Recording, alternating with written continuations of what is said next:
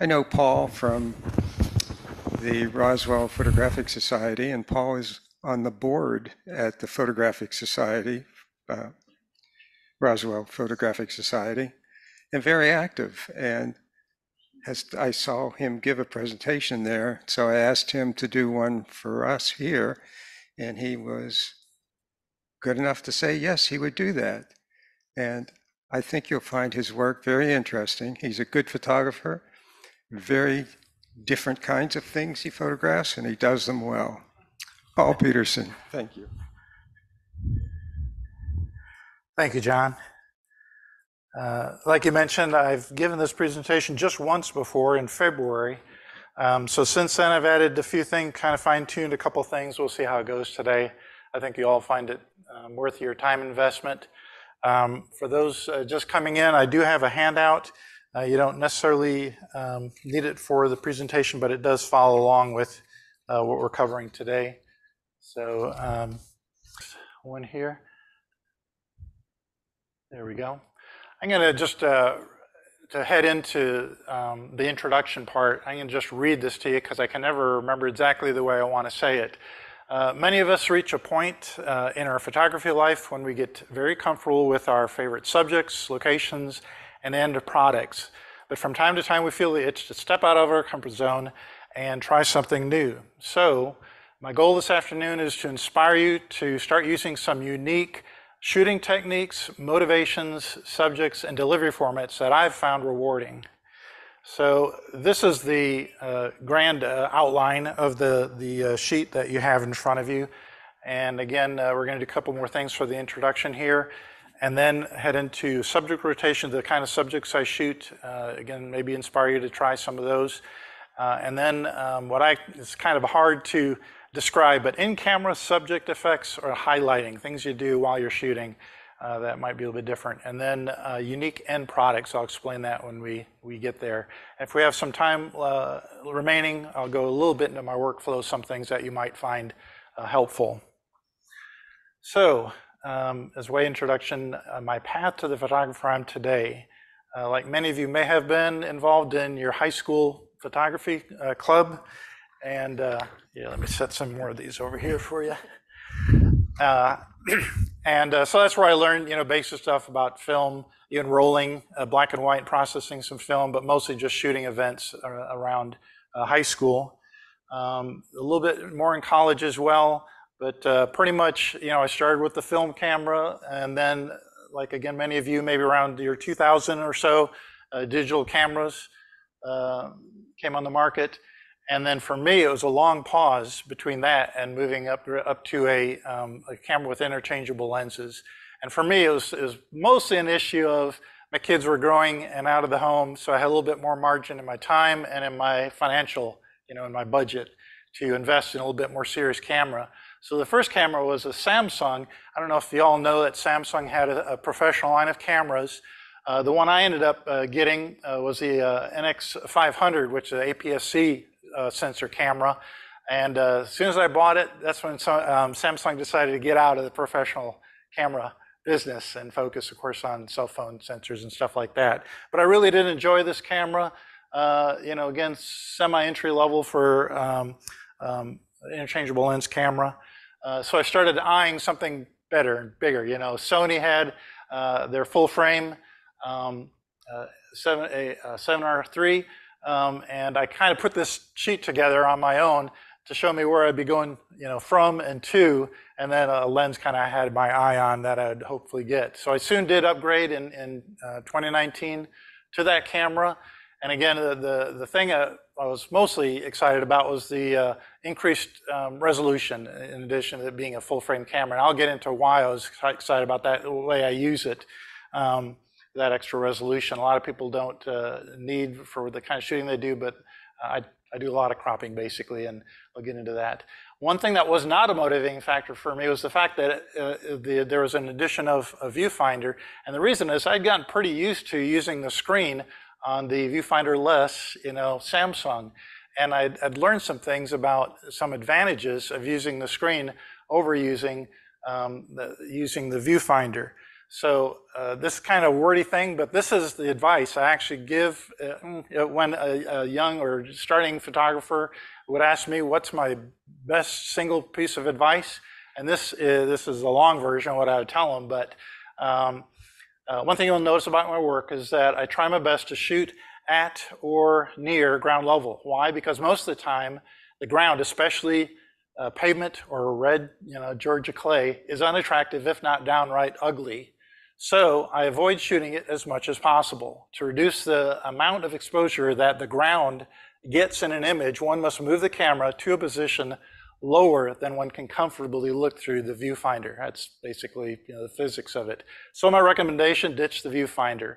Uh, look at the screen. Sure, sometimes bright sunlight conditions make the viewfinder the better option, but when you get in the habit, and that's the key word there, of using the screen, uh, with your camera near the ground, a new perspective opens up a whole new world for you.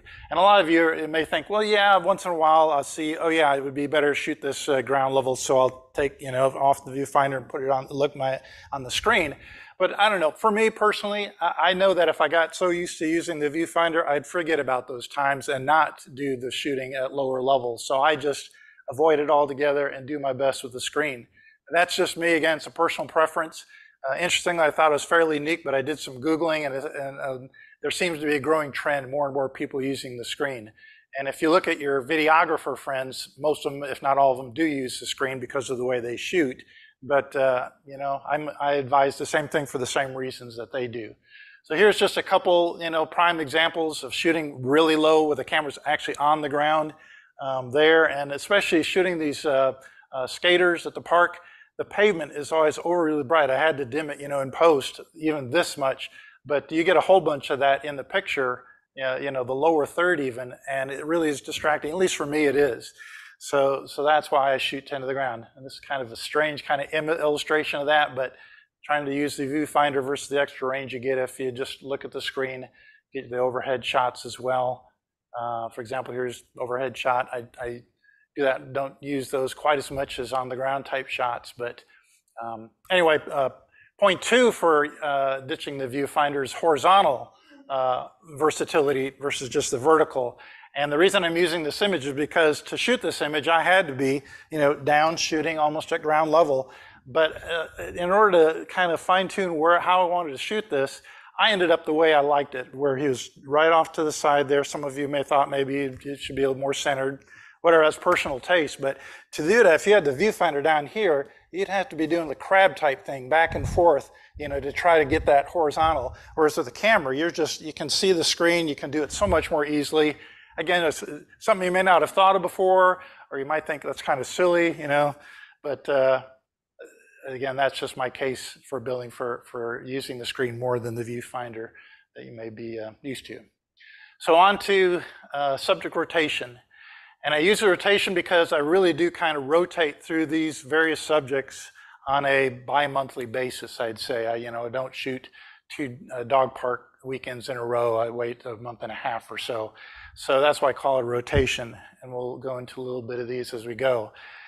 Um, in uh, Lightroom, you know, you can um, group your shots as you're loading them into Lightroom and starting your editing into, you know, the folders or drawers.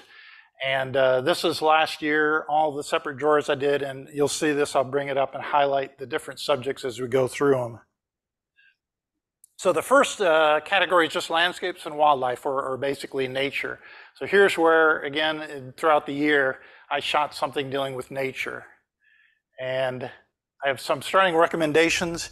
Now, as we go through the subjects, I'm going to have uh, slides like this where I list a number of recommendations. And again, if you, again, nature shots, a lot of us uh, pretty much do that. And so some of these may seem a little bit elementary to you, but uh, again, I'm, I'm uh, presenting in case for those who are maybe always been into sports photography and are thinking, oh, maybe I might try some landscape photography. What are some uh, helpful hints? So I've got a number of these type of slides, and on your way out, I will have an additional handout from the one you've got that lists on a, a single two-sided sheet all of these recommendation pages, slides on one paper. So you can uh, make note now, but if later on you think, oh, I might want to shoot some dog park, you know, pictures, you can get this shot, uh, this this uh, sheet, and look at the the suggestions that I have. As far as uh, landscape uh, recommendations, before heading out on a photo walk, decide the best lens for what you're planning to shoot and leave the camera, gear, backpack behind. And again, that's a personal preference. Some of you have found it really helpful to have a full set of lenses with you as you're going out, but I love traveling very light, very light. So I always think, where am I going to go? What kind of am I shooting? What's the best lens for that? I just carry my camera and my lens. And that's again what I'd recommend to someone just so they're not toting around a heavy bag of, of lenses. And uh, next one, slow down. Uh, to look around on your way out to what you think will be the main attraction. You might miss something wonderful. Uh, example, dunes at the beach. You know, it's, it's kind of hard to miss some beautiful dunes, but a lot of people just think, oh, you know, waves and sunlight, uh, sunsets and whatnot. Um, but uh, again, slow down. Um, a lot of times uh, when I'm out on a walk, you know, I'll oftentimes just stop and turn around and see if I miss something from this angle and look up instead of just down and around. So just take your time. Again, something uh, to recommend for a, a new uh, photographer just heading into nature uh, shooting. If you end up with a lens too great a focal length to shoot a wide scene, shoot a series of overlapping images uh, which can be stitched together in post. Again, it's the whole idea of if you don't have a backpack full of lenses you can switch to and you end up with the wrong lens for a particular shot you want to get, that's, uh, I'll show an example of that in just a minute.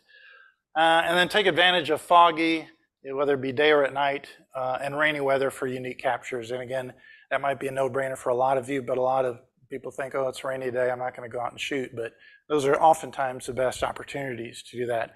Here's an example of in the fog. I live in uh, Martin's Landing over in Roswell, my wife and I do and uh, it often fogs up there around the lake. And this was late at night with the lamp posts, uh, the lights on at night, and uh, just again, wonderful opportunity to get some interesting fogs. And th uh, this may have been the same day as the light was coming, morning light was coming. You can see the sailboat there and the distant fog there, and uh, someone just happened to be on the path they're walking. Um, I just again thought it was a, a fine capture for um, something like that. Again, here's an example of dune shooting at the, you still get the ocean there and the sunrise, but uh, you know, sometimes it's great just to capture the, the dune. Um, this is an example of multi-shot image. You know, I had a fairly, um, uh, it might have been an 85 millimeter lens, I think, with me, or a, a, maybe a 70 to 180, something like that. And I wanted to get this whole scene, but I only could get a portion of it. And so, uh, advance the next one. There we go. So those are the eight shots basically I took, and then I was able to stitch them back together. Obviously, there's more overlapping of the actual images, but um, we'll get into uh, how to how to do that a little bit later on. But that's an example if you end up with the wrong lens and you think, well, I can't quite get the whole thing. Um, just shoot a series of of, uh, of, uh, of images and and stitch them together in post. Uh, wildlife recommendations: shoot at ground level or at least their eye level so as to get more interesting backgrounds than just the ground or water. Again, that's something I'm going to keep repeating because, again, it's something that's easily, easily overlooked, especially for folks just starting. But uh, it's, it's, it's, to me, it's pretty basic. When shooting small creatures such as birds or butterflies, don't shoot or crop too tightly. I think they discussed that probably this morning a little bit. Seek for surrounding elements which would complement the main star. So this is an example where I could have cropped it in just the butterfly almost in the center and that would have been fine, but I just saw that the, the uh, composition of this worked much better if I just kept it broad rather than cropping in closely. Uh, same thing here, would have been okay just to get that guy right there, but I like the sailboat and the fact that he's looking out in that direction. So again, just think about those things. You think, oh man, there's the bird, let me get the bird, but keep in mind what you're trying to shoot, the whole thing. Uh, same thing here a little bit. This is more of an example again of shooting at ground level up at, or at their eye level of, of the subject. Again here, this was the water, you know, the camera was almost on the water for this shot. I just think it really brings it in where you can get the head of a goose or a duck up in the sky. I mean, that's my always my goal because it is just to me, it brings a lot more, uh, you're right there um, rather than shooting down at the water or shooting down at the ground. Same thing here at the beach. It's hard to get these guys because they're running away from you all the time, but uh, this was like uh, last spring, I think it was, when we were at the beach, uh, getting down at ground level to get that. Okay, this is heading into, uh, before we head into um, other types of categories, I don't want to make a distinction between um, what I shoot for myself and what I shoot for others, and getting into a little bit of motivation, what motivates you to shoot pictures. And uh, so again, landscapes, wildlife, you know, nature shots. Um, sometimes I shoot them for the folks who live in our community. They love to see our lake, uh, you know, the nature around it. And so, but most of the time, it's for me just to enjoy trying to get a, a good shot. Um, all the other categories we're going to cover are pretty much due for others. I'm thinking in minds of would this person like this photo? How would they like it? You know, me to spend time on working on the pictures. And so it gets into a little bit why do you photograph for others? And to be honest with you, part of the reason I went into this, I'm very analytical in trying to, you know, outline something like this, is once in a while I get a little bit of an evil eye from a professional photographer who's uh, trying to make a living, you know, shooting events. And the type of events, though, that I tend not to shoot, I'm, I've, i rarely uh, am at event shooting to give away the pictures free to the people where there's also a professional there trying to sell his pictures. I think it's only happened once, and that was at Wills Park uh, shooting the horses. And I was only there for like uh, three hours out of a you know 16 hour weekend that he was there shooting pictures. So anyway, this is why I went into this a little bit. You can either be shooting for family or friends, you know, just events. Uh, supportive causes, you know, like um, adopt a dog. You know, they've contacted me, say, hey, can you come shoot our dog? So people, will, you know, adopt a dog kind of thing for pay. Like I was just saying, there's professionals, and I don't know, a number of you may be in that category. And then a, fourth category that might be pretty new to you, or you haven't thought it in these terms, but to be an influencer. Um, and you think of influencer like on a YouTube, someone who's very popular and a company or a cause hire them to be an influencer of, the, of their fan base, in a sense. So the way it works for me in photography is um, I shoot an event at no charge. And again, typically I'm just talking about like at a dog park and a bunch of people have their dogs there and they say, oh, I noticed you're taking a picture. Can I see, can I, where, where can I see the pictures that you're taking? That kind of thing. Um, but then say, I'm not even, I'm not charging or at the equestrian center, same thing like that, sports centers, um, events. Uh, then the subjects of those pictures, when they get, you see it, um, they take note and they check out your profile where you've posted those pictures of them and then they read and possibly adopt your message. You know, you're trying to influence them, use the uh, gift that you've got, the skill that you've got to um, hopefully impress on them a message that's important to you. So the way that works for me is I have little business cards that I've printed out. Moo.com, great place to get business cards because they'll let you do a face uh, side and the back side, you can actually have them put a different picture of yours on every one of the cards, which is pretty cool for about the same price as regular business cards. And I used to do that uh, for this, but I decided to change it. It'll be more direct with the back side. But if you read the first side there, uh, uh Paul Peterson, uh, hobby, uh, photo hobbyist, always looking for something different to capture. In two to three days, go online here to view and freely download pictures that I took today or use the QR code on the back where it says the pictures there. And then I've got the actual URL in case they don't do the QR code thing.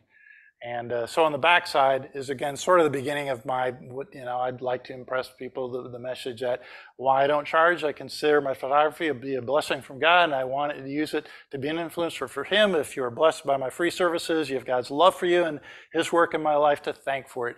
Uh, if you have a few minutes, check out my story how I came to this perspective, and they could do that by going there, or they could just go to their pictures and see what the pictures I did I posted of them. So when they click on that and they go to um, this uh, basic index of uh, albums that I have on my events Flickr profile, I have two uh, Flickr profiles, one for events and one for my creative work. Um, they'll see uh, most likely the, the newest album that's there in the upper right or left and uh, so in this case, it was a soccer game I shot down, shot down at West End in, in uh, uh, Atlanta. And there was, uh, goodness, I can't read either one but here, but I think 174 photos, 100 views so far. And um, when they click on that, uh, any of these particular um, things, and they go to the album and they click on the about, and you can't really see it, but there's an about there. It brings up the description of the album. And uh, in this case, I say images are free to download. Help, um, helpful note below, you may need to press show more, you know, bring this up. Um, uh, this weekly event, I, then I basically do a summary of what the shoot was about. And then I have my notes about how to do the downloading. And then I say what motivates me to shoot sets like this. Find out in my about section, I have the link to my about section, and that's where I kind of pretty much go into, uh, again, the message I like to impress on them. And you can check that out later with the links that'll, the, the handout that I've got here that's got all these links, obviously you're not gonna be able to do anything with this, but we, the, the, uh, the group will send you the um, uh, electronic version or the link to the electronic version where you can click on all the links and, and check out all this, these uh, um, sets that I've, um, I'm referring to. So that was my events where I send people who I've shot, you know, pictures of them doing something and they want to see that. But then on my creative work profile, um, where I pretty much shoot uh, or put um, things that are more creatively bent. And again, some of those events pictures are creative enough. I bring them and copy them into uh, the appropriate uh, folder here. So um, you can see that there's some category ones at the beach, surfing and so on. But then I have bi-monthly um, albums every two months, uh, and they, they tend to be 100 to 200 images in each. And uh, again, that's the, the um, uh, main focus of my creative work thing is where I, I assemble those. And again, there's some other um, things like I have the best of uh, the 10 best that I thought were, were good for 2021. I think the 2022 is there as well. At the end of every year, I, create a, sort of a best of my pictures so people can see what I consider the better part of my um, set for the year. Other Another online destination for some of my photographs is Google Maps. How many of you have ever posted to Google Maps with any of your images? Again, it's a, great place. Uh, I, um, you can see down there, I've put up about 5,500 since 2016. I've had about 24 million views. And some of them are locations that when they see the photo that you've uploaded, in this case, this church in Savannah that I shot just this last March, um, they will sometimes put it as the prominent picture for that location on Google Maps. And so it'll get, in this case, 1 million views of that shot that I took just again in uh, last March. So there's a couple others. One was at Piedmont Park, one was at Centennial High School where my kids all graduated from. So it's just kind of an interesting thing, a, a, a place to post. And then another one is uh, Nextdoor. I don't know if you've all used Nextdoor. It's mostly for community-based things where people are complaining about this, that, and the other in their local communities. Um, but uh, when when my picture set is geared towards a particular area, like Martin's Landing, where my wife and I live, uh, in this case, you know that first example up there um, around the lake, um, at the, the dog park. Again, that's nearby enough, so I went ahead and posted there as well some pictures. So people will see, you know, again, their community or their dogs, in that case, at uh, on, on uh, Nextdoor. All right, on to the dog park. Speaking of dog parks, for as far as um, subject matter. And here you can kind of see, I shoot every other or every, you know, month and a half uh, matter of fact, last year I didn't shoot as many probably times as I, I usually do. Um, you know, everybody loves dogs. You know, at the dog parks, you can get some good interaction between the owners and their dogs, uh, or interaction with, with each other. I mean, you can shoot your own dog for some artistic, you know, shots. But at a dog park, all the dogs are interacting. You get some uh, great, um, great uh, interaction shots.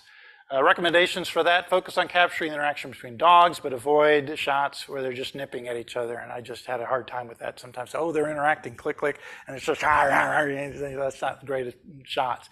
Shoot at dog at eye level so as to get more interesting backgrounds instead of just the grass or worse dirt. If the dog park is split between large and smaller dogs, remember to switch between the two to get a variety of shots regardless of your preference. Again, if you're shooting for people, um, to let them see, you know, creative shots of their dogs. You know, big dogs, little dogs, it doesn't matter. Everyone loves their their dog, so go ahead and switch between the two and get a variety in your set. Uh, be prepared to give uh, your posting location on the internet to those wanting to see pictures of the dog. If you don't want to use your personal website, consider using Google Maps, or et cetera, as I just mentioning that. So here's another couple examples, interaction shots. Sometimes just a standalone shots, depending on the look on their face here, are, are good shots as well. Um, the fun thing for me uh, about the dog park shots is uh, all my creative shots, I add a caption. And for the dog park shots, I usually, um, you know, have the most enjoying, you know, time of, of, of coming up with captions. Most of them, it's uh, putting words in their mouth. I can't remember the, uh, the technical word for that, but um, personifying the dogs. Um, this one is one of my favorites because the look on the faces look exactly like that threatening tone in the, in the statement there. Um, so again, that, that's for me a very enjoyable part. And I don't know if you ever thought of shooting at a dog park before, but those are the kind of shots you can end up with. Horses, equestrian events. Um, I know I live pretty close to uh, Wills Park, and so I uh, go there again about every other month or um, a month and a half. Again, last year I didn't do quite as many, I think, as I normally do. You get some grit interaction between the trainers or the riders and the horses. Obviously, the jump shots, the action shots, those are kind of basic.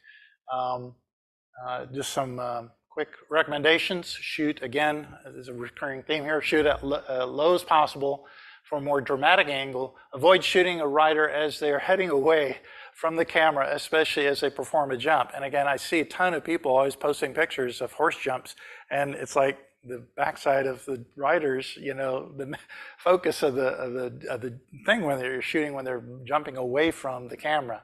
So just simple things like that, keep in mind. Uh, when the horse is close, don't spook the horse by bending down uh, for the shot. So like this uh, previous shot here, it's pretty low, shooting up, getting the, in the sky and thing instead of the dirt. So to do that, when you're doing that, um, you got to keep in mind if you're down here, and I've had to be told this by the people that were there because I was fairly new. I was shooting, you know, up like this, and the people said you can't really do that when you're too close to the horse because the horse doesn't know what you're doing. They think you're going to spring up and surprise them or something. And so you can either shoot from the waist high, you know, like this, shooting up, uh, or you can set your camera on a mini tripod, you know, the little small ones that uh, the A high and uh, set it on the ground, preset the angle and the focus, and then uh, most cameras you can get a remote uh, um, shutter release, like about this size. And then when they, they're coming for the jump, you just hold it down and do rapid fire shots, and uh, you get the shot that way. You can find which is the best shot of the, the rapid fires. Uh, use your camera's silent shutter. That's pretty obvious. You might run into a little bit of a problem with distortion depending on the speed of the um, shutter release, but uh, yeah, you want to you don't want to spook the horses when they're jumping by hearing a bunch of clicking sounds from your camera. Kind of basic, but again, you might forget that. Uh, try panning blur shots. Shut the, the shutter speed down to 120th to 100, 150th, depending on how close they are to you. Um, yeah, this is depending on the speed and the uh, proximity to the subject and I've got some examples of that. Well, first example is that, again, it might be a trip for some of you to go to Wills Park. It's in Alpharetta, but it's the one that's got the most events going on every single weekend. Uh, there might be some, uh, I, tried looking around for something comparable in this area, and I just really couldn't find anything that was as, good of a uh, dependable um, schedule for them with events. So this kind of thing with very low, you're on a hill and you're getting all that uh, um, bokeh, you know, effect in the background. Um, at Wills Park, uh, you can see the two rings there that I highlighted. Um, this is a uphill coming down um, up from the barns, and there's you know where I would stand shooting that way or shooting that way, and this is a downhill going uh, down to the competition and the warm-up rings. So that's how I got that last shot. Is I, if I see someone coming up from the barns or up from uh, the competition rings, I run over to that area and I try to get a good shot. And um, you know that's kind of um, image I usually get. Again, the jump shots extremely show shots with the trainers and uh, maybe family members in the backdrop there. Um, down in the barns where they're you know prepping the horse. This I used a 500 millimeter mirror lens, you know, the ones that are they got the horrible bokeh, They got the what they call them the donut hole bokeh back there. I try to minimize as much as possible, but I was just you know eons away from this person, and it looks like you know it's just dead on, and it just you could do some interesting things with 500 millimeter lenses. You don't have to spend a fortune. I think it's spent 150 bucks or 100 bucks on this 500 uh, mirror lens. Um, again, low angle. I think I used the mini tripod for that one because that would have been too close to freak the horse out and the rider too. Um, this is a panning blur shot. Again, that's when you slow your shutter speed down to the point um, where you get some blur, but you're panning exactly the same rate as the subject. And if you do a rapid fire, you know, set of 20 shots, one of those in that 20 might be dead on where you're panning exactly the same speed so the subject is is very um, sharp and still, and the background is what's all blurred. Uh, and sometimes you can do five of those type of shots and not get anything. So it's kind of risky if someone says, "Hey, shoot me," ride doing this doing this ride, and you only do panning blur shots, and none of them turn out. You know, it's a risk, but uh, it's worth it. I, I, there's another panning blur shot. Um, especially hard with horses. With cars, it's easy to do because they're on a plane uh, level going straight horses are going up and down, you know, they're galloping or whatever. So you have to get them at the arc of their, their you know, what they're galloping or trotting, whatever. So it's uh, panning blur shots of horses, it's, it's especially difficult. Okay, so this is Equestrian Center's schedule for, I think it was this year or last year. And you can see every weekend there's something going on. So, um, you know, you can look them up on the website and make a trip down there and I think it'll be rewarding for you. Uh, one event that they have every year in the fall typically is this Dad's Derby, where the father of the normal, you know, younger participant in, in competition, uh, they all dress up as, I guess, near Halloween or something like that, and they compete against each other. So this is an example of uh, one normal competitor's dad, and he was teaming up, I think, with another dad, and it was like a good and bad, you know, this he was a thief with the, the bags of uh, money that they stole from the bank kind of thing. And they have the judges there on the side judging um, each um, dad and how well they do. So this was an example of extremely low shot. I had the camera on the ground, you know, basically shooting underneath the rail here up at him so I could get him in the sky instead of down at the dirt and with, you know, too much distraction from the background um, uh, crowd there. Here's another shot from that event where the whole family kind of decided to dress up uh, for the uh, for the event. Okay, one thing that you'll find in the Equestrian Center's uh, schedule are non-equestrian actually events, and they're they're basically dog training or agility uh, events, and there's usually only two or three per year. So this is like a composite of a number of, of shots that I took at one of those.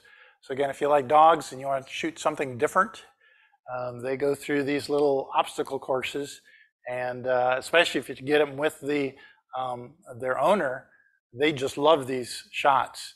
I mean, I, I shot one uh, maybe three hours straight and got maybe uh, maybe 50 people, maybe more, and it it got like 600 views on that one album because everyone wanted to have pictures of them with their dog doing something special, you know. Uh, okay, so before we go on, any questions so far?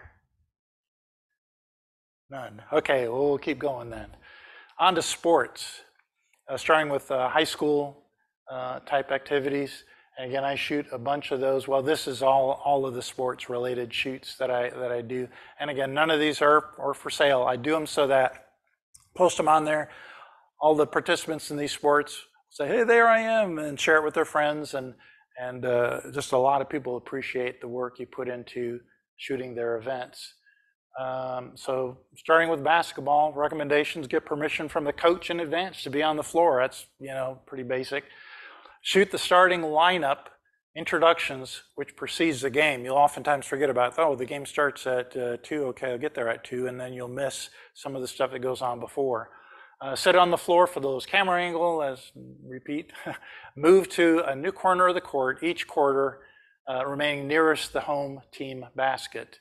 Uh, use a lens somewhere between 28 and 150. I think, uh, um, uh, was it uh, Tamron came out with a 50 to 150 recently, and that's got my eye on that because you really want to have a low focal range to get them when they're right there at, at the basket that you're sitting nearest. But then you also want to get the down court shot, so that's where you need the, the longer um, focal length. Uh, set your camera, and this is my recommendation. You can play around it however you want if you haven't done these before and want to try to shoot a game. Set your camera to manual f2.8, uh, 150, uh, 500th of a second. A lot of people say that's way too slow to stop the motion, but I've never found a problem at 1 500th. A lot of people would do 1 800th or 1 1000th of a second, and that's fine, but then you're getting less light in. You'll have to mess with the higher ISO and therefore do uh, more uh, digital noise cleanup in post. So I, I found that that's a good combination. The 2.8, again, doesn't give you much depth of field. If you can go higher, that's great. Uh, 1 500, set the ISO to auto, and then just do rapid fires. And uh, you'll have to cull through a lot of pictures, but you'll come up with some, some great ones.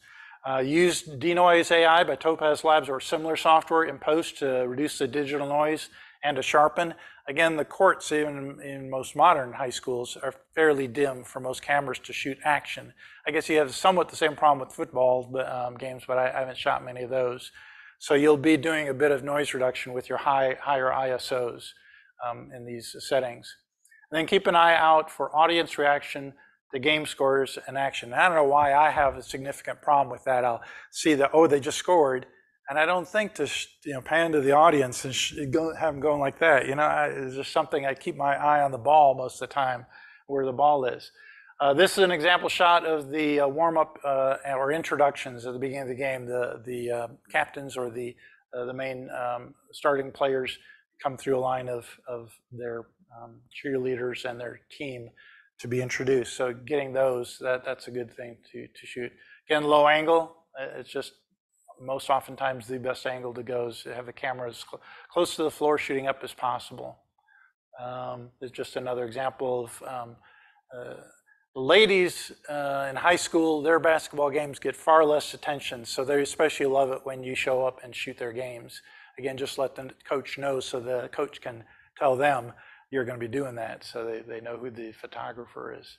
This is an example of down court shot. And the reason I would, I would get that is because uh, he's getting the rebound there, but he's got the whole whole team, um, the, the especially rowdy part of the, the crowd there in the backdrop. And that's the kind of shot you often get, or that someone jumping high to get the rebound there. This is an example of uh, this crowd shot again. This is the opposing team guy waiting to get the ball from the ref. And the home team was giving this guy just a little bit of a hard time, like, oh, you're, you're going to mess it up kind of thing. So I, I just love the composition and the, uh, the story behind that, that, that shot. Again, keep your eye out for those. Wrestling matches, I haven't shot that many. They're not obviously as action packed, but they are interesting. Get permission from the coach, like I said uh, before, and the others. Uh, get to the event early enough to get shots of the whole team warming up, even those who won't uh, compete that evening. If you show up early, uh, especially for baseball and some other sports, a lot of the people on the team don't get to play in the game.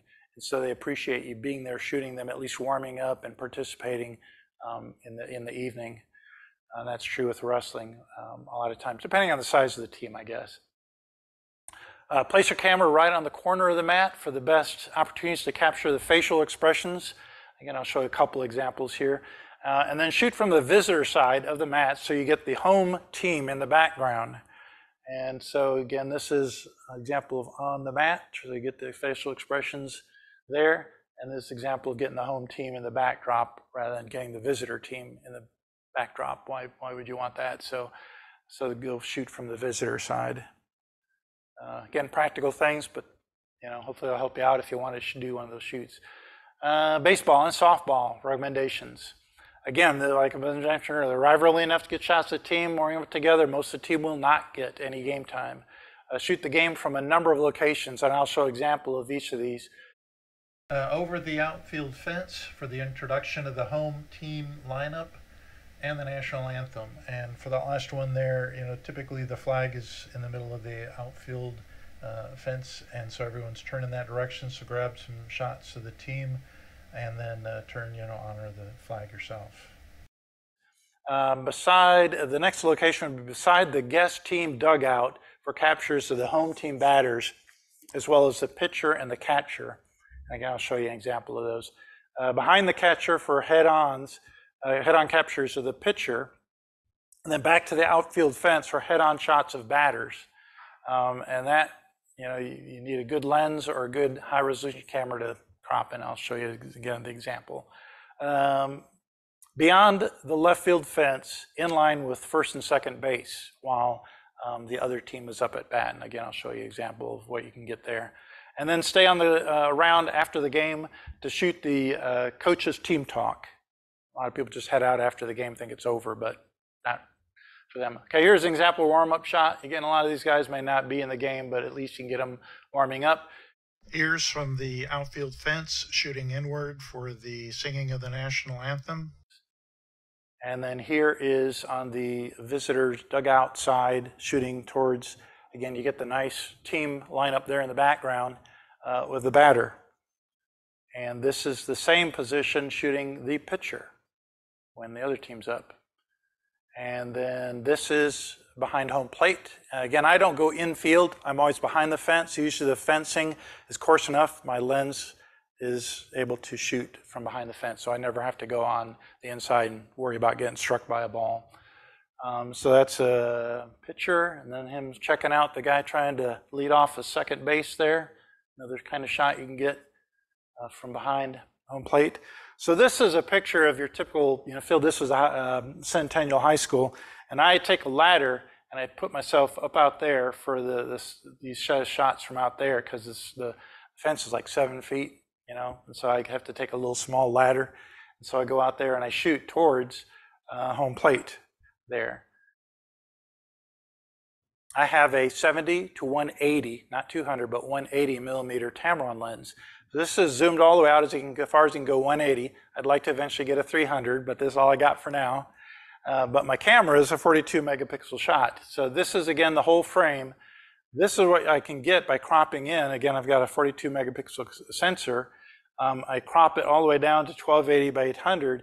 And then the next shot, you look at the guy's eyes, for example, specifically the batter's eyes. If you go to the next frame, can't see it very much on the screen, but if you look at this one, uh, you'll get a copy or be able to get it a copy of this presentation. You can look at between the frames, um, between the two. And this is a, a, after using Lightroom's super resolution, or it doubles the resolution, basically finds out the you know the staircasing, you know anti-aliasing going on there, and uh, Topaz Labs denoise AI to get rid of um, some of the noise that you'll typically see you know, in, in the background here, but it, it, also does some sharpening. Now that can, this thing can really overdo the sharpening, so you really have to watch it and play with all their different options.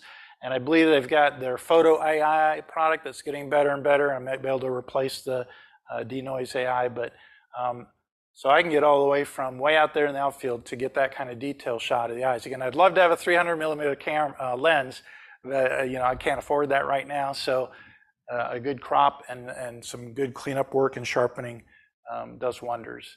And again, obviously the batters love these shots because not many photographers go to the trouble of shooting this angle. And so they just love it. Here's an example of girls softball. Now their outfield fence is much closer in than uh, the boys baseball. And so you don't have to crop quite as much. So again, they, they love these shots because they you can see the uh, the visitors, uh, ca- um, um, catcher's facial expression there, and even the umpires have brightened that up a little bit. But anyway, again, wonderful shots. This is uh, uh, out in the left uh, field fence, looking uh, second base onto first, and so uh, a visitor runner was returning to second, and the home team guys trying to catch him, but he wasn't quite quick enough, or the ball didn't get there fast enough. But those are kind of shots that I get someone running back to first, something like that and that's when um, the other team's up at bat and you can't be out shooting towards you know home plate. You may as well go do something else. Uh, Post game pep talk, you know, by the coach. They happen, and, and a lot of photographers miss it because they think the game's over and they go. But um, this was one of the more popular shots of that whole set. The coach, I guess, really liked it, or the team did. Um, going on to track and field, recommendations. Get permission again from the coach, even to you know, be on the infield. Sometimes they're picky about that. Uh, plan for an extra busy start when the field events are occurring at the same time as the first track events. You find that out from experience. There's too much going on. Shoot everything. Uh, be brave enough to shoot discus, shot put, and long jump events head on. Just keep your distance by using a long range focal length. You know, I want to say much more about that, but use the longer races like the one and two mile or 1600 and 3200 meter, I guess is what they are now, um, as an opportunity to try a number of panning blur shots and get uh, candid shots of teammates interacting um, on the infield as they're waiting for their next event. So those events can last, they last 10, 12 more, more minutes. And so you got a lot of time to, to go shoot some other things. Go for the low angle shots for the more dramatic perspectives. For shots taken after sunset, use the denoiser um, applications that you've got available. So again, there's a discus. I was way out there shooting way in. There's no way she could have hit me. They don't seem to mind as long as you're out there far enough. Same thing with the shot put. You're beyond their their, their reach. Uh, long jump, high jump, pole vault. This is one of the better pole vaulters. I think at Centennial High School, he was getting up like 13 feet or something. So um, low angle for the running shots is just, in my opinion, it's the, the best, you know, angle. Um, relays, handoffs especially, very cool. Um, shooting head on for the um, hurdles. Uh, you can get some also pretty good, obviously, from the side as one person is jumping over a hurdle. But I kind of like shooting from here because you can shoot the whole race from, I, I, again, I have a, I think I stepped on a chair to look over the fence. So I was way beyond, you know, where they were going to be finishing up with a long zoom. And you can unzoom as they get closer and closer and get a whole bunch of options for uh, good shots. Like this was way down at the far end. Uh, and again, just expressions, that kind of thing. Again, low shot at night, cleaned up with uh, denoise. Um, handoffs are a lot of fun. A little bit blurry, but I love the you know expressions and the composition. All right, soccer recommendations. My wife's from Brazil, so she's big into soccer, and so shooting more and more of those. Get permission from the coach again to be on the field, and check with the refs on the boundaries that they want you to respect because each one seems to be different. They want you behind this line, no behind this line. They have to, you know, make sure they, do that. Obviously, depending on the caliber of the game, if it's a high school game versus a casual game, you won't even have um, refs worried about that. But uh, arrive early enough again to get shots of the team warming up together. Most of the team won't get to any game time now. Again, for a large team, that may be true. Reasonably sized team, small team, uh, yeah, most of them do, but still, it's it's good policy to to try to shoot some warm up time. Uh, go for the angle shots again, and for shots taken after sunset, go for the denoiser um, stuff. So here's a couple from Centennial High School. Again, my my kid, this is in Roswell, and my all now grown kids graduated from there. So all the coaches kind of know, oh, you're you know so and so's dad. And so um, they at least know when I ask if I can shoot, and uh, even though my kids aren't there anymore. This is where they just scored, and they're interacting with the, you know, the crowd, the team, um, the uh, uh, their fans in the stadium in the stands. All right, on to youth league. If you're not shooting at high school, you know, there's in the summertime especially there are youth leagues and all kinds of things, including roller hockey. Um, and I'll, if there's a local place you could shoot that if you're interested. Uh, don't settle, okay, for, for shooting roller hockey or hockey, uh, don't settle for shooting from the stands or behind the plexiglass. Ask the coaches if you can shoot from within the player bench area so long as you stay clear of them entering or exiting from the rink.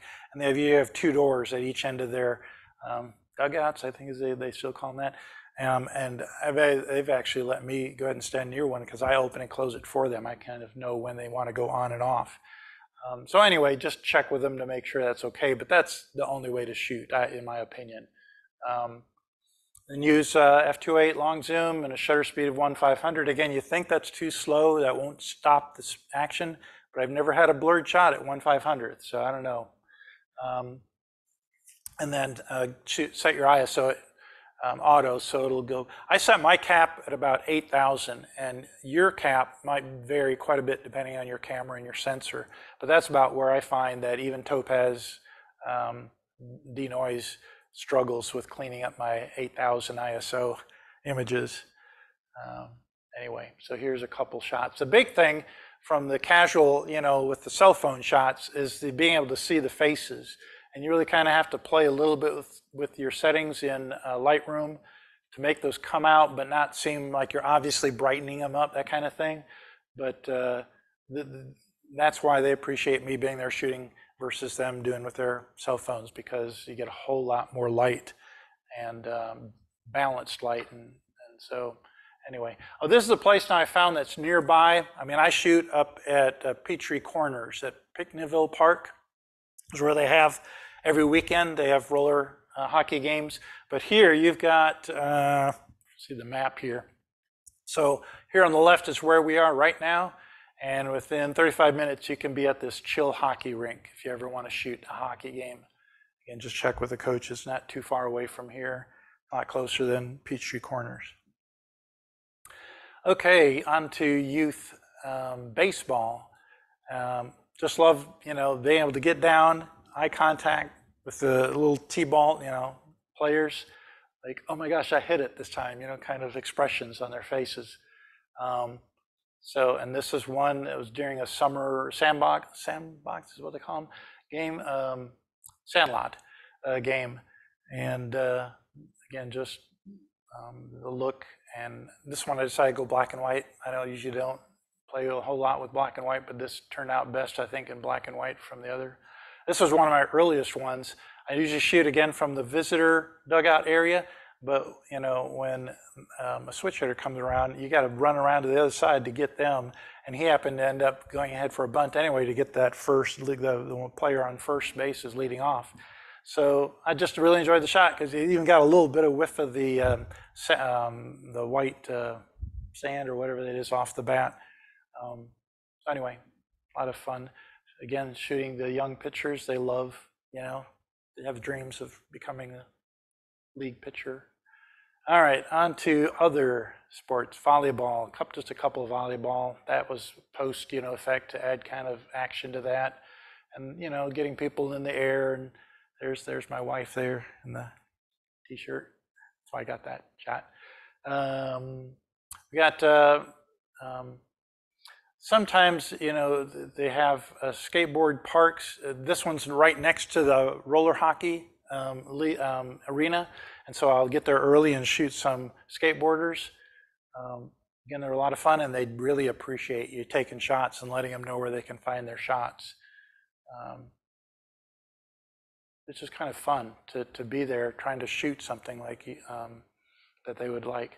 Uh, skaters, this is all the way down in Piedmont Park in Atlanta, Georgia. I used to go down there a lot because I'm a skater myself. I, I, mostly skate distance rather than the um, between the cones. There's that shot again, and they do that a lot. But it's um, just a, a, a well um, a wide range of type of shots you can get at a place like this because some of them are learning, some of them are doing jumps and some like yeah, here this was at a skateboard um, park, and they were just doing it on rollerblades instead of skateboards. Sort of reminds me of like a gang shot, you know, and uh, um, motorcycles, invisible motorcycles. Um, every uh, year in the fall, they have an Athens to Atlanta roller skate or skate, and it's like 80 some miles, and um, it's pretty impressive. So uh, one time I shot them wrapping that game that skate up. They do it Sunday morning and uh, interestingly enough, Sam here, the guy on the right, uh, he's, I guess, about my age. And uh, he's uh, just incredible in that most people take a car or share a ride to Athens Saturday night and then skate back to Piedmont Park or wherever. Or not, um, yeah, that's Fourth Ward, I believe, um, uh, on Sunday morning. Well, he skates to Athens on Saturday night and then skates all the way back on Sunday. So it's kind of a fun, fun group there. Um, questions about sports? Shots? Anyone? No one. All right. Huh? Sorry. Uh, the question is, do I sell a lot of, the, uh, of my work? Again, pretty much what I alluded to early on. I, I, I do it to um, um, pretty much to be a, a, positive influencer in those who are taking. So again, I'll give them the card, or they know where they can find online their pictures. But uh, no, I've, I've never um, received payment for for my pictures. Um, I have had some prints. I use metal prints in some exhibits that people have purchased. And that's pretty much all I've, I've gotten um, as far as pay for my work. All right, on to miscellaneous type of shots. And again, this is sort of throughout the last year, times where I shot some of these kind of off subject things, including concerts. Lighting is real important. This was at a U2 tribute band concert. The guy almost, you know, kind of looked like Bono, and, and, and their lighting was so great. It was one of my, my favorite shoots of this, this type. All right, concert recommendation. Contact the band a few days in advance and ask if you can be somewhat of official photographer for the upcoming performance. I think there's a technical term I read recently for that. Um, be clear that you would be shooting stills, not video, Because most of them think, oh, you're just going to come and shoot, you shoot video. No, you just make it clear. Can I speak from experience? So let them know you're shooting the stills.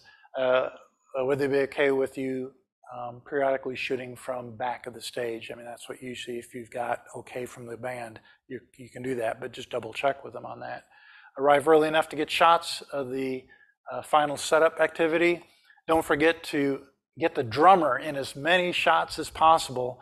They often are hidden behind the other band members in the front. And if you look back one shot, there's you know the drummer back there. He's dimly lit, but you can at least see him. Whereas if I had a different angle, he's usually covered up by something, you know. Um, so anyway, that's one suggestion or recommendation. Um, and then get some shots uh, from behind those in the control booth uh, and behind the people in the audience. I got a couple examples there. This was down at uh, Roswell Riverfront concerts every Friday, Saturday night. Just a couple with their dog watching the band. Uh, this is booth people with the controls. You always try to get the controls so people know what are these people. Um, uh, I think this was up in Lawrence, yeah, Lawrenceville. And then another similar thing to remember, do that uh, for fireworks displays. Don't just get the fireworks, get nice silhouette shots of people looking at the fireworks. And I, that's what I always try to do. I rarely shoot just fireworks anymore. I always try to get behind people, don't know them, doesn't matter, they can't see their face anyway, um, and uh, get some shots like that. All right, Dragon Con just happened last weekend, happens Labor Day weekend every year. Tens of thousands of people come to Atlanta for this sort of like fantasy characters, you know, sci-fi characters, and it's been around quite a long time. And um, it actually runs from Thursday through Labor Day, Monday. But on Saturday morning, they have a parade of all the characters, and that's what most people will go down for. If you if you're there for the whole thing, you have to pay to get into various venues where they have panels of speakers and stuff like that. But if you just want to get a, quick taste, you go Saturday morning, 10 o'clock, um, Labor Day weekend, and uh, you can get the parade. And it's a route from about Midtown down to Peachtree, um, MARTA Station area in a downtown Atlanta. So um, usually I've, I've, gone a couple, three times in the past. This year I actually went with a group from uh, the Roswell Photographic Society group that I'm a part of. We had about six guys that got together and shot kind of together. So, you know, again, low to the ground, shooting up. You can get, you know, the crowd nicely based around the ground to get rid of the street. Um, that, that's the optimal shot. Um, but this this were like a couple years ago. I think if you came in early, you saw some of those that I shot this year in the rotating slideshow. Uh, those that you saw um, were from this year. This is from last year, I believe. Yeah, from last year. So this is um, we're um, it's not Peachtree, but it, we're uh, it's the overpass at 8575. So you get a nice clean backdrop where you can get your bokeh, you know, back blending, you know, nothing too busy back there and then you get all the sunlight. There's no uh, building shadows being cast on the people as they come across the bridge. So that's what I found the best place. After the parade ends, like at 11 or so, people stay down in the downtown area. Uh, the people are dressed up, go to different things going on in that area, and they're on the sidewalks. So you can grab them. And, and again, if you've ever been uh, afraid of doing street photography, shooting people, this is the optimal event because these people spend a lot of money, sometimes a lot of time uh, working up their outfit, and they really want you to take their picture. They love it. So unlike you know some other times when you're trying to do street photography where people are saying, "Why are you taking a picture of me?" These people love it. So I'll I'll, I'll see a unique couple like this coming you know along the sidewalk. Say, "Hey, do you mind if I get a shot real quick of you? Can you come right over here?" And they say, "Oh yeah, sure." And they'll go and pose however I want. And again, I love the low shot here up against the buildings. Um, so again, great opportunity to try some character street photography. Um, another thing that you could try is museums like here. Uh, this is from the Computer Museum of America that's in Roswell. Not very well um, uh, promoted. They're, they're trying to do more promotions, but um, it's got a various section. This is where it's all the small, you know, mini computers or home computers. And then they've got an area where it's all uh, the main old mainframes, Cray computers, and so on. And they've got a huge section that's a space uh, program with it, including a like a three quarters size lunar lander module.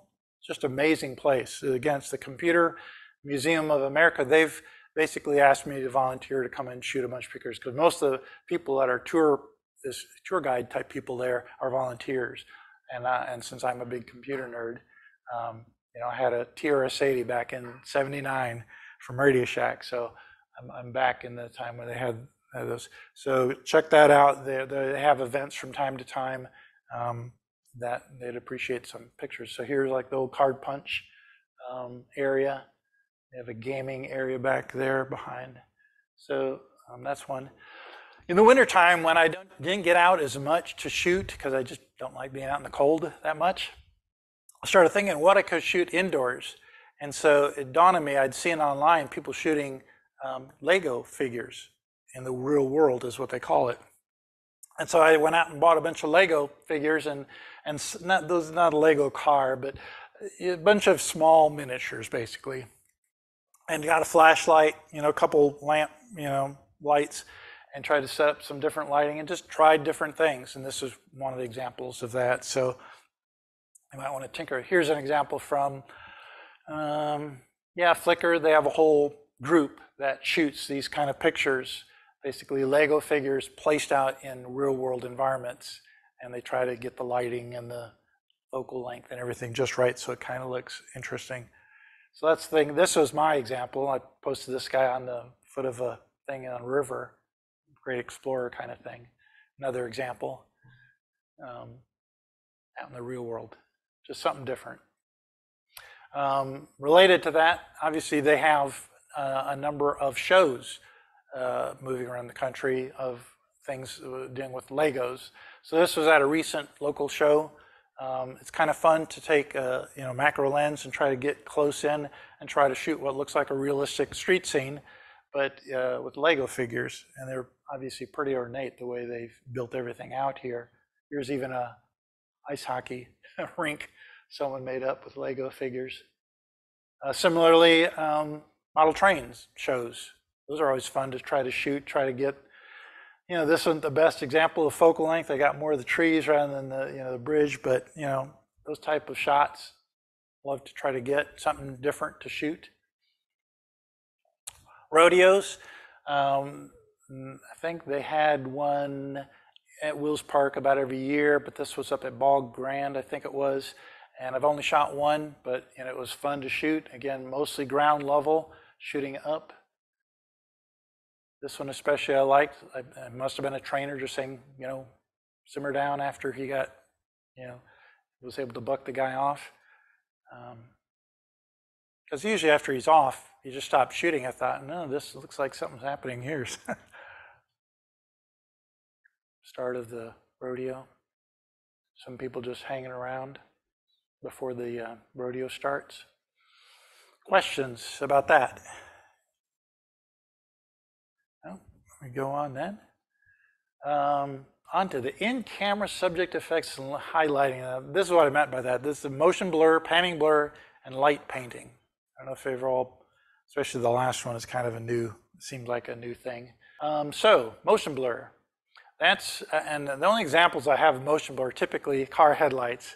You got your camera on a tripod, uh, shutter speed down to 30th or slower, and, uh, oh, I'm sorry, no, um, like 30 seconds, 20, 30 seconds, whatever it takes to get the car as it's moving along a path. And typically curves are better than straight lines, you know, something more interesting. So, um, so you're getting the motion of an object. Again, there's many more examples of types of motion blur, but again, all of mine tended to be at night shooting headlights. Again, there's the curve there on the on the left that makes it stand out more than just these straight lines here. Uh, downtown Roswell. The fun thing about this was trying to get a shot where obviously the cars are moving, but the people sitting in the restaurants out here are not moving. So it, it's just kind of an interesting additional effect. At a carnival, you know, moving lights. It's easy to shoot something that's uh, interesting. Panning blur is where, again, uh, showed you with the uh, equestrian shots, you're, you're panning with the subjects to blur the background. You got your shutter speed down to 30th, 120th of a second slower, or whatever it may take. Again, cars are fairly easy because they're going at a straight line, a set speed. Um, horses, not so much. But so this was uh, downtown Roswell uh, during a photo walk out on the Big Creek Greenway a long time ago, just shooting bikers as they pass by. Again, they're pretty easy because they're consistent in speed typically and, and level. Out at um, Avalon up in Alpharetta uh, during the winter, they have uh, the ice skating rink. Uh, for that particular venue, you have to get a, um, you have to check with security and they give you sort of a badge for being a photographer so people know you're out there being official photographers. This is back down at Piedmont Park, panning blur, again panning with the skaters, blurring the background. Usually I emphasize the, the saturation quite a bit in the background or do something to make it stand out even more than just the blur. Speed skating uh, going on in, um, I think it was up and Cumming. There's an arena up there where Saturday mornings they have um, speed skating lessons. And so caught this person doing some speed skating.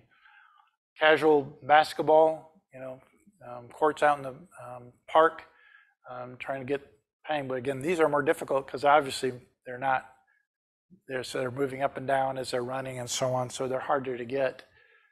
Track meet. Now this, this brings up a point of the fact that a blur shot, you don't have to have uh, the whole subject uh, sharp for it to be an effective image. As long as you especially have the face, the, the face is the big thing. I mean, because the other parts can be pretty blurry, but if the face is crystal clear, you can get by with a bunch of additional blur. Light painting. I haven't had much experience with that, so I kind of brought this search on Google for people doing light painting. Uh, the thing I would try more and more would probably be this middle one, love, where you spell out uh, with a flashlight or some sort of LED instrument, uh, a word, uh, spinning uh, light things like this one over here on the left. You know, those are pretty common.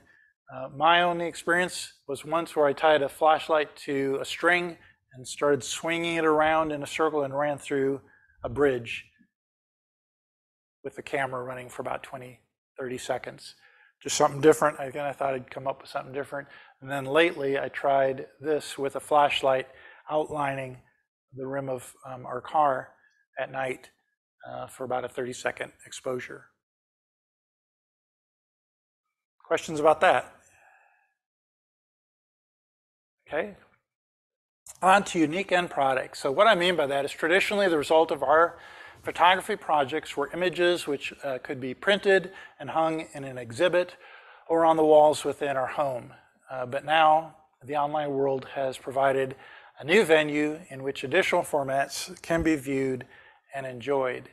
So the categories after this are stereo photographs, uh, 360s, technically the 360 be 180s, uh, panoramas, and gigapixel images, and then lastly mosaics.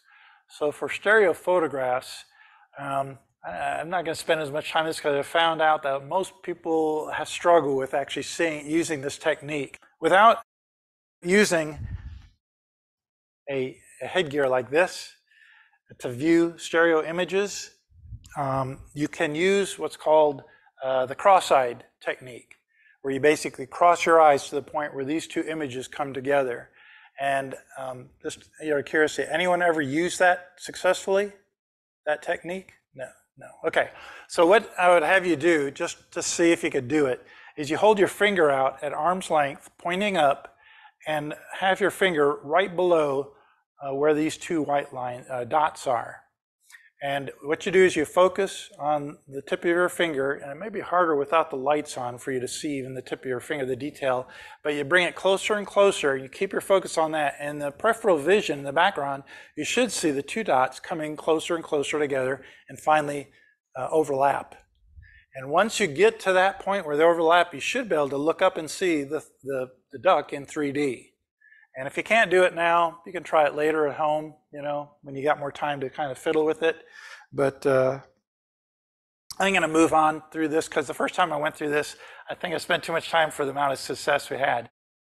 Basically, to create them, there's some free software out there. You take your two stereo pictures, and the way you take them without a true stereo lens or something or camera is you would take your, your camera and you would um, make sure that the shot is taken um, perpendicular to each other or parallel to each other instead of converging. It's like you take a, you think you take that picture and then that picture, but no, you want to go exactly parallel. And so that's what I do. It looks kind of funny, but I'm taking my picture. I, I make sure I'm, I'm going exactly horizontal. Click, click. And that's where you take your two pictures, and then this software, you load them in there. It does some funky things with it to adjust the cropping and so on, and then it spits out a final image. And I've got the process outlined in this handout that we'll have available for you online. And uh, down at the bottom there, I, I, mentioned how you can take advantage of a company that makes takes those pictures of yours instead of having to do the you know that thing, they'll make a ViewMaster reel out of it. So I've got a couple ViewMasters that I got from this company as they sent me the actual reels of my 3D pictures that I sent them online. And they sent me back viewable things. And again, it's too dark in here for you to probably see these, but you can welcome to come down here after the meeting and just check these out. I got two of them uh, here. If you're, if you're interested in this whole area, then there's, there's an outline that I have for you that kind of explains it. And I'm just going to go through the rest of these quickly because these are some example shots. Um, even people, if you can get people to stay still between the two shots, um, is, is a good thing to do. This is pretty good because there's a lot of close and distant objects. And we're going to move on uh, to 360s, panoramas, gigapixel. Okay, to do 360 by 180s or panoramas, you've got a number of options. One option is a live option, which is great if you want to do special video, obviously, or moving objects. So there's low-end capture devices, and this is just one of many that are out there. I can't remember exactly what the brand that is, but um, the second option is much higher-end capture devices that are higher resolution. That's the big thing. Um, and uh, they shoot again in one split fraction of a second, the whole 360. You don't have to um, do it in multiple shots. And then the manual multi-capture options. Okay, uh, one cannot simply pivot your body. Say you've got your camera and you want to shoot a panorama like this. You can't just take your camera, click, click, click, click, click, because you're pivoting around your body. And that causes, as I point out here, cause par um, parallax errors which creates problems for the stitching software. Um, so this is not an issue if your subject matter is all the way in the far distance, but if there's any object sprinkled throughout the area between the camera and the distant background, there's going to be these parallax er errors that'll spring up. Um, there are a number of devices available you can use with your camera to resolve this issue.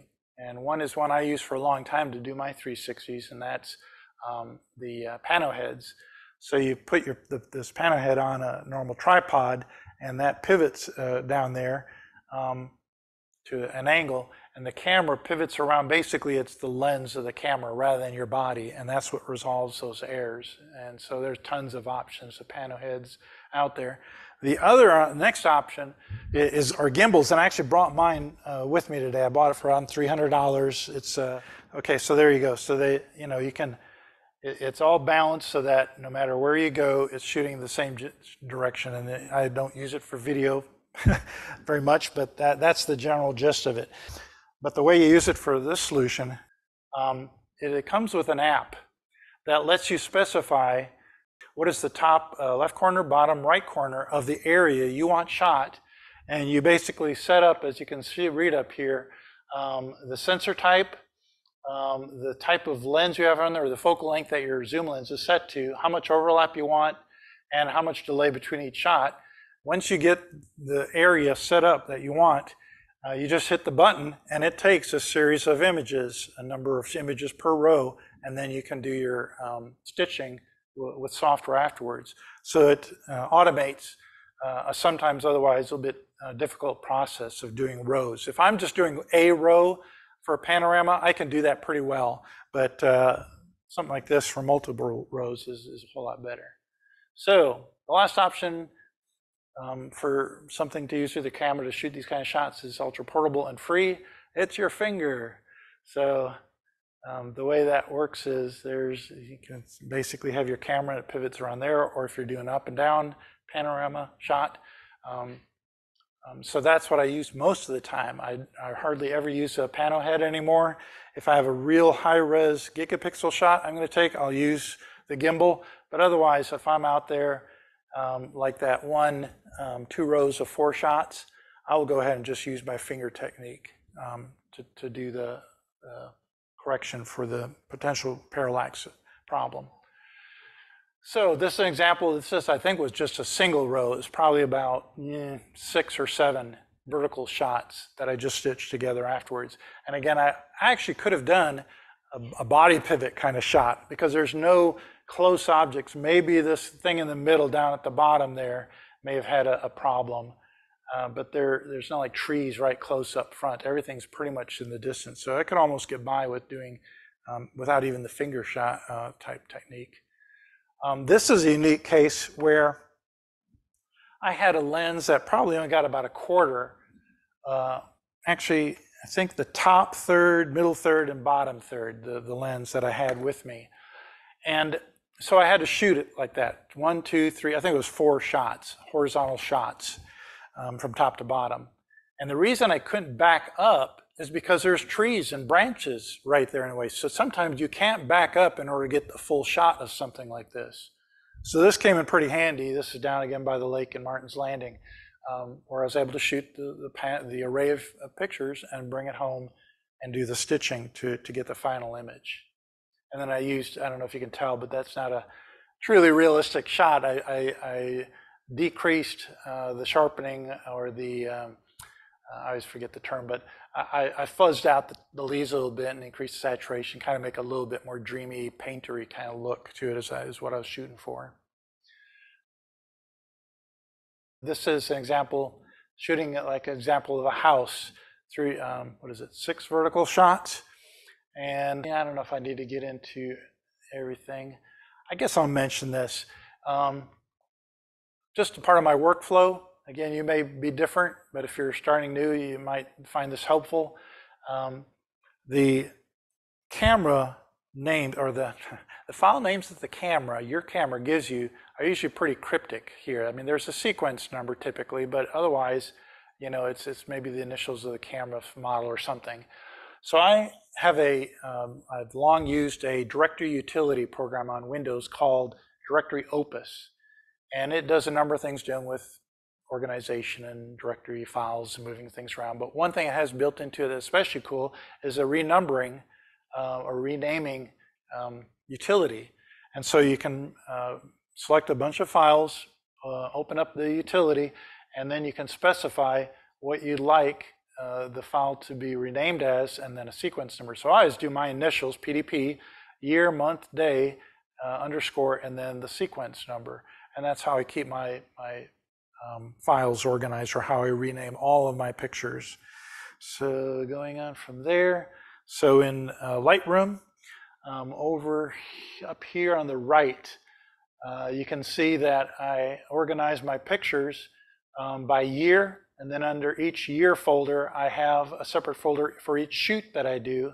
And I name the folders for my shoot, the year dash month dash day underscore and a brief description. Again, you all got your own workflow for this kind of thing. But again, some of you might be new and this might be helpful, the, showing you the way I keep things organized. So I bring my six images into this new folder called House Pano. And then uh, um, Lightroom has a built-in photo merge panorama feature that lets you blend those two together. And it does a pretty respectful job with this simple um, shot. Um, there's some um, options that you can use to tweak things, but uh, not a whole lot compared to some of the competition out there. And so I used one of the competitions, um, and to get it to that application, I have to export it from Lightroom after I made any adjustments, and then I bring them into, if you open the upper left corner here, it's PTGui Pro. It's one of the main program software applications out there for stitching images, probably one of the more reputable ones out there. The one advantage that I want to highlight right now that has over um, Lightrooms is uh, something called masking. So if you notice in the middle of the picture here, it shows the number of the picture, one through six. And uh, in picture one, I actually cut and pasted myself standing there in front of uh, the stoop there of the house, and I don't want me in there. So you notice up here where it lists the different pictures, um, I'm in the picture one, but I'm not in picture two where it overlaps. So uh, what you can do is use the mask, and I'll go to the next picture here. And over here in the bottom left, you'll see I had, took a green and I made a line right down this area for picture two. I'm, I'm highlighted picture two up here in the upper right, and that I drew a green line on picture two. And what it is, it pushed where two was used in the picture over on top of the one. So if I go back and forth, you'll see up there, look, see, I'm, I'm there, number picture one, but two pushed me out, so I'm not there any longer. So that's, they call that masking, where you can uh, influence where it draws the lines of where, what one image versus the next. So again, it's, it's kind of a technical thing, but again, if you get into stitching big, you know, get something like this, PTGui Pro is great. great. Again, the handout that I've given you um, mentions that specifically. This is an extremely, well, this gets into gigapixel shots. So if you read the description here, um, I shot a 23 by 6 array of images. So basically on each row of six, I shot 23 pictures, each a three bracket shot, so I could create HDRs. So for post, I started with 414 original images and combined them into one final 48,192 by 23,335 H, uh, HDR image. And I go on to mention some other things. But so you look at the full image. This is um, Buckhead, obviously, from um, the vantage point of, I can't remember the name of the building I was in, but uh, I had, um, I don't think I had my gimbal at that time. I shot it manually with a pano head. So if you look at, okay, here, uh, maximum magnification when viewed in the Flickr website. I'm going to contrast the, when I post my pictures to my Flickr creative account they can uh, bring up on the screen as much of a, I think a 6,000 pixel resolution. So if you compare this image uh, uh, with this one, so see that the building there, uh, a little bit to the left of center, that's where it's, this other site that's custom geared towards gigapixel shots called Gigapan. Look how much closer now. Look at the top, uh, top center. There is a guy on a balcony. Can you see him there? You can't. But if you go to Gigapan, you can you can even see him. It, it's that much of a resolution bust, and you could probably. I, if you go online, you can zoom, pan around very fluidly. I decided not to try to do something live at this point, so I have this series of pictures. So to explain Gigapan, it used to be a commercial site. You had to pay for it, but now it's not supported anymore, but it's maintained by someone. I don't know, it's been years this way. So you can go and sign on, uh, get yourself an account set up, and then you download the upload software that you would upload your image uh, to this, this profile that you set up. And you know, again, you, you select where's the, the, what the file is that you've created with your stitching software, uh, the title and the description, and your um, profile sign on and password, and it'll upload the image. And so, again, this is um, at, from a lighthouse in Savannah, Savannah Beach, I guess. And uh, it was a full 360 actually. I, I, went around the lighthouse and I took a picture, took a picture all the way around the backside of the, the, the uh, top of the lighthouse. Um, and so, again, just to show you the depth here, the, the, where we're going to be zooming into is this little lighthouse right there. So you go one click, there it is, and another click. And again, that's the kind of resolution you come up with. And it's just fun to pan around and just see any kind of detail um, that, that you'd like. And it's, it's just some, again, you wouldn't print and hang on your wall um, or, you know, put in an exhibit necessarily. Now this would come in handy if someone wanted a wall size mural of some shot and say, yeah, I can deliver that. It's called a gigapixel shot. And you'll have as much detail as you want on that huge wall mural. Um, but that, that's one of the later examples of a gigapixel shot that I uh, shot recently. Mosaics. And this isn't uh, the type where it's a printed mosaic and you can kind of see the individual pictures just looking back a little bit. These are gigapixel sized um, mosaics. And there's a commercial aspect that you could utilize for this, like wedding uh, events um, where you take all the pictures dealing with engagement or the growing up and engagement pictures, wedding shots, and after, and put them all together in a final mosaic. So you get a hundreds of pictures, as many as you can get, and then decide on a picture that you want to be the center picture of the mosaic or the main picture. So in this case, this was my family picture from back in the 70s. there I'm in the back uh, center there. And um, you can tell by looking at the upper left corner there, this is going to be a five gigapixel shot, um, which is pretty big. And so the software called Andrea Mosaic uh, takes all those little pictures and your main picture, and with a whole bunch of tweaking, uh, you specify where those little images are, you specify the size that you want, and then it creates the image. And again, if you um, if I read the description here, it's created from 344 family images. So um, again, you look at the image itself, and it looks mm, kind of choppy or whatever, but you can definitely tell the features. You can tell there are people and then the smiles and so on. You start zooming in, and I'm going to zoom in on my face up there. So you begin to see, oh yeah, there's some little pictures in there. And I'm going to zoom way into my nose at this point. And you can see there really are detailed pictures all the way down to where you can read text on those little pictures. So again, the whole idea is that you could, uh, for uh, a person who wants it, I want a family picture, just like this one. And they give you hundreds of their family pictures to put, include, and you could provide them. Again, it's only an online thing. You can't hang this on your, on your wall, but it's a, it's a unique kind of oddity type thing where wow, that's made up of, now there's only 344 unique pictures in there. Obviously there's millions of pictures in there, so it had to reuse lot, uh, all those pictures. But, uh, but again, you know, you can kind of see some duplicates probably. You can tell it to keep the same picture a certain number of, you know, pictures apart so they can't easily see the duplicates. Um, so anyway, that's, that's uh, mosaics. Any questions? All right. Let me check my time here because I got only one section left. Yeah, we're right at 1 at 2.30. So this last section doesn't take too long. And that is my workflow. So you can read all that at any point later on. It's in the uh, handout. But the, I just wanted to focus on these two points. Um, um, I edit the remaining images from the previous steps, uh, starting with cropping, leveling, color correction, and adjustments uh, to shadows uh, and highlights that reveal greater detail, and then use various tools to adjust the image's lighting so the viewer's eye goes to where you'd like it to go, and that's what they were just talking about earlier this morning for the review uh, session.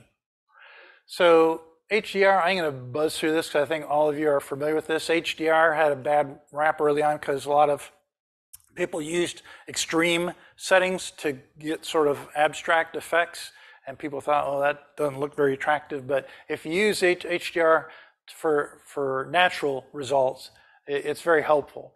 Uh, now, with the, the sensor sensitivity you got in the cameras today, this has almost become unneeded, but in certain situations, you, you really can take advantage of it. I mean, some um, camera sensors, you take a picture like this over here on the left, and you could bring up the shadows to an acceptable level and not worry about doing a multiple shot HDR. But I, I just wanted to give an example. This is from uh, a room in our home, looking out the window, got my uh, bike there in the thing. And so different exposure levels. This is high, standard, and low. And then if you bring them into um, Lightroom's Photo Merge HDR, it'll come up with a fairly reasonable, you know, uh, result where you can see the bike and the outdoor uh, together. And there, here's the Again, the examples to the top were the originals. And so what it kind of did is it took uh, the lighting over here on the right, used that. I'd say it used the middle one for this little bar of curtain, which is about the same, and then it used obviously that one for more of that. So it grabs the best of each. If you're not uh, familiar with HDR, that's pretty much the basics of it. It's grabbing um, um, the optimal parts of each of the bracket shots to get an optimal image. And so the other thing I use to do that rather than Lightroom's built-in one is Photomatix Pro and very reputable industry. I'm going to go pan through this. The, the advantage is you can save a number of settings that worked for you well in the past and then easy select one that would work for this particular set that you've loaded in. Um, so, and there's obviously tons more adjustments over here on the on the left, depending on which module you use uh, to make the, the adjustments that you think would bring an optimal uh, result. And then lastly, some uh, before-after examples of cropping and shifting of light. Uh, again, they covered this a little bit in some of the examples this morning, but you know, here's the raw shot with the, at the dog park. Uh, here's the cropped and lighting adjusted, you know, result. Much more pleasing. This is a huge one. This is again, where does your eye go? Well, maybe the shirt over here on the right, but on the back side, unfortunately, of the guy here. So you work with the light enough, and you come away with something like that. Which again, you may have personal taste for maybe too much on the face or something like that, but uh, that was my um, optimal uh, image um, from again the former. So again, you, you use Lightroom or um, similar things, Photoshop, to, to move the light to where you want the, the eye to go. And then this example of red Georgia clay. It's not very attractive. It's bright and it's red. So um, I did a number of other things for this image, but that was mostly it to get the uh, brightness and the saturation away from there, um, bring the, the, the eye you know, it was mostly on the shirt, still maybe too much on the shirt, but at least it gets the eye up and a little bit further out in the field. And I think that is it.